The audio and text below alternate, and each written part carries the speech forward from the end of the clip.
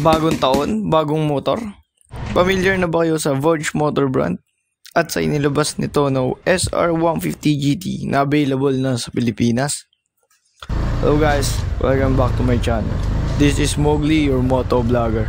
Tara, review tayo. For today's video, agri-review tayo ng kauna-una ang Vogue SR150 GT dito sa Pilipinas. Ang Vogue ay isang Chinese manufacturer ng motor. Kilala sila being in advanced design, competitive pricing, and high-end configuration. At naglabas sila ngayon ng 150cc. Kauna-una ang nailabas nitong December. Tayo ay maswerte dahil ang aking kapatid na si Robin Maulyon ang kauna-una ang nagmay-ari ng Vogue SR 150 GT here in the Philippines. Kung sa itsura, unang mapapansin natin is kamukha siya ng Yamaha X-Max. Pero kung titignan, malaki ang difference nito sa overall na sukat. Meron itong digital screen na hindi kalakihan at hindi kaliitan. For my preference ay sakto na ang ganitong sukat. Dito makikita ang speedometer, fuel bar, at iba pa.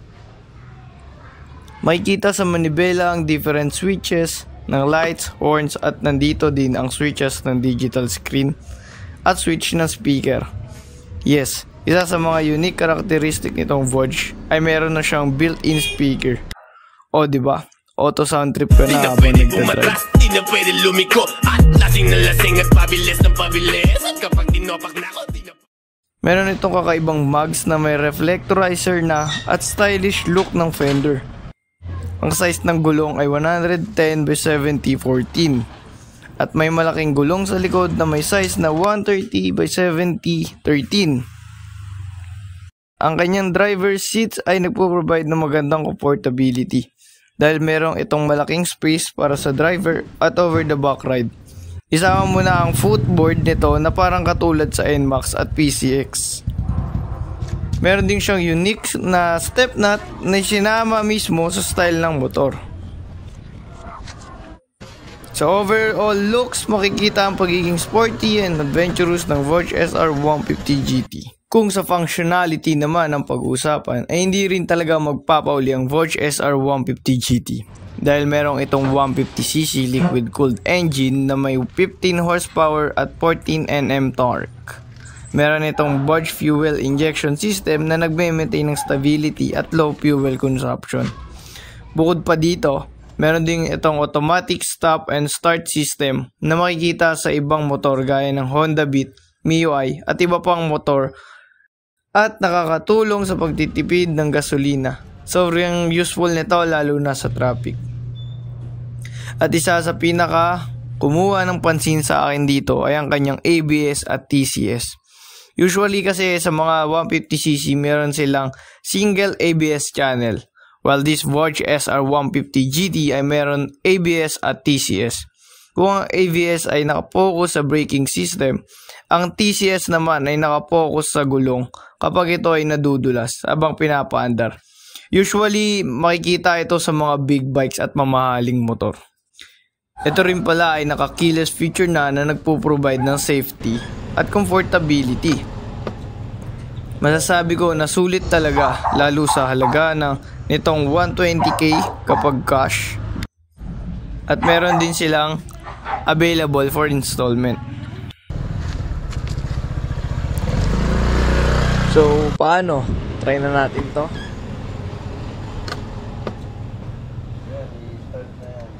Hmm. Okay na? Binibigyan niyo dyan? Oo.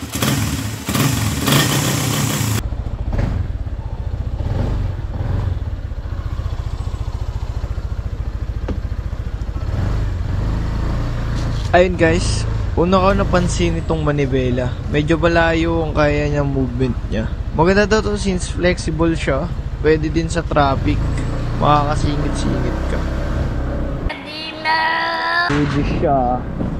Masarap, masarap, masarap.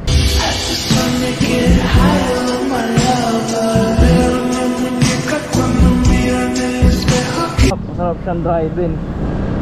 Komportable yung upuan niya. Ay yung unang-unang pansin sa kanya. Tapos ayun, ah, okay din siya kahit mal pandak ka. Kasi ako hindi ako katangkaran, hindi tayo gano'ng maganda yung height. Pero sa nakikita ko, abot ko yung How short is too short? Literally anything. Oh, sa nakikita ko, abot ko yung ano eh, mas mataas pa yung grabis ko kung tutusin. Kasi tingnan nyo. ah. Nalalapat yung paa ko. Pwede na! Sa grabis hindi ko nagagawa yan. Which is much, much good. Ayun.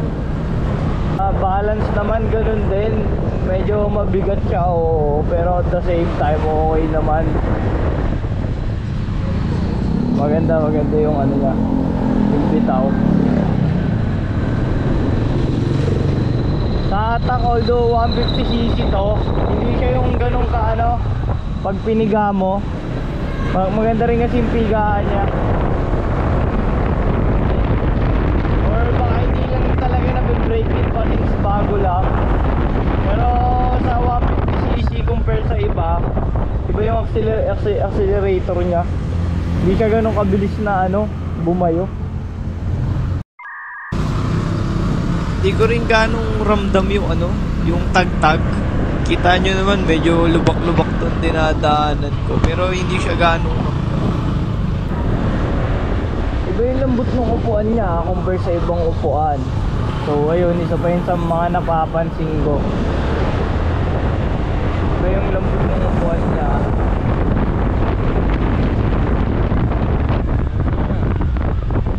Feel ko hindi, pa to nabe-breaking talaga.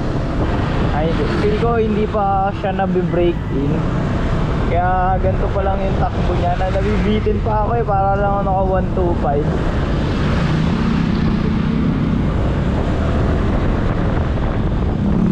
Kasi nakaranas ako ng ibang 125 ay ibang 150cc na pag pinipiga ako yung ma, ma, malakas na yung hatak kaagad.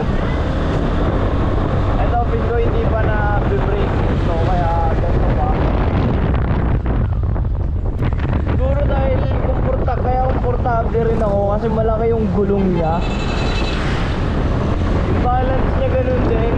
Maganda, maganda yung balance. Ko rin ganong ramdam yung bigat. Pwede na! Meanwhile, Ah, balance naman ganun din. Medyo mabigat siya o. Kaya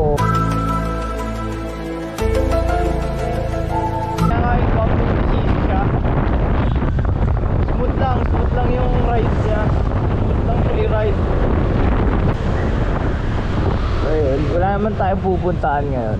Sadyang iniikot ko lang to. Para maalaman natin yung ganda ng ano. Watch SR 150 GT no. Sa ilang minutes kung nagra-ride pa lang Nakikita ko sa kanya yung comfort Parang sarap na nga ilong ride kagad na ito akin lang to eh Pero ayun Big shoutout sa kapatid ko kapatid ko to ah, Pinahiram lang tayo Sa pagdadrive okay na okay siya Para sa akin kasi yung gang niya, hindi ko naramdaman yung bigat ng pagiging 150cc niya eh.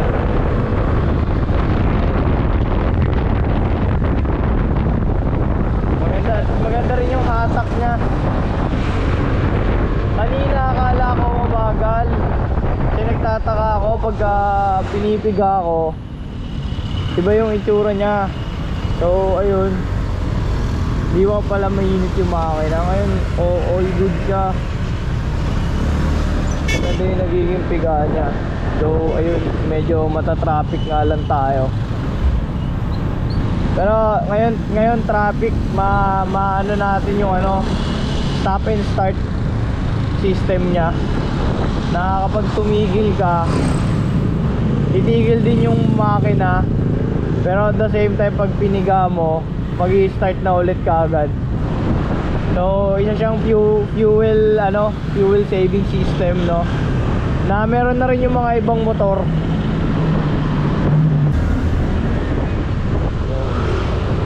Ayan, tignan natin ha, pag titigil. Ayan, tumigil tayo. Ayun, tumigil na yung makina. Pero at the same time, ayan, nag-start tayo. Pagkapiga ako, nag-start na ulit siya.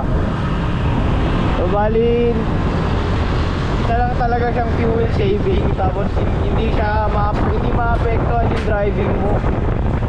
Kaya kita nyo naman kanina crossing pa yun. Ay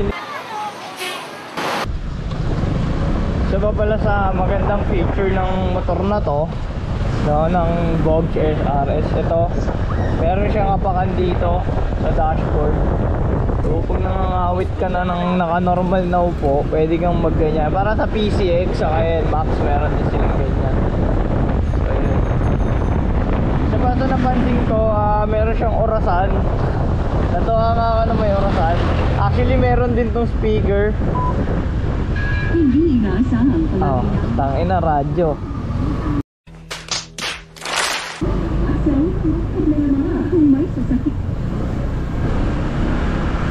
Ayan, Bluetooth. Ayan yung Bluetooth niya. So, testing natin ah. Testing natin. Huwag patugtog gamit tong Vodge natin. Ayan.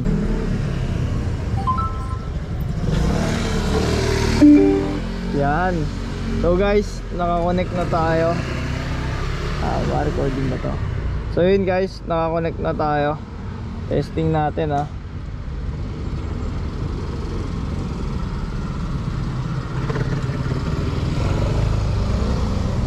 Ayan, ito na lang paranoia. Dahin ko lang yung speed. Baka tayo ay maka-copyright.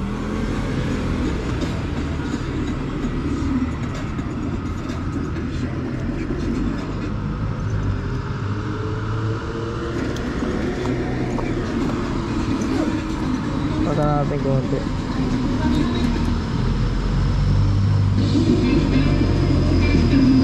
Ayan. So, yung speaker niya, malakas din ah.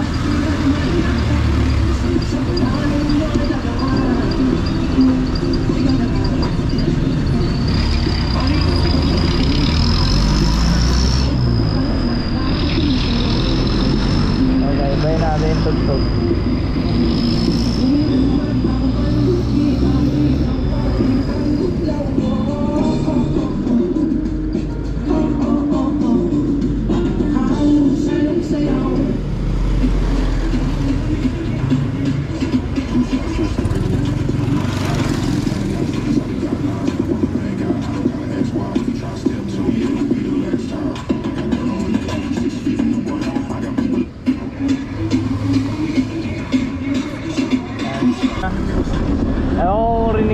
Camera.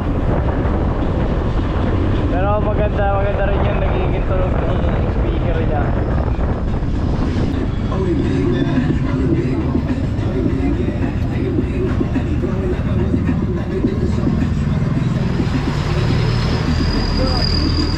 A built-in speaker. Ginagamit mo?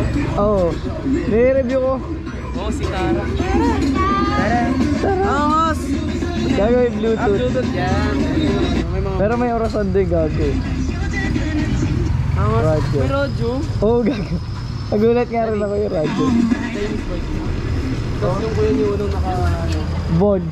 Oo. Bagong brand ba yan? Oo. Kayo unang naka... Kayo unang nag... Komportable driving. Disc brake ko sa likod. Disc brake nga.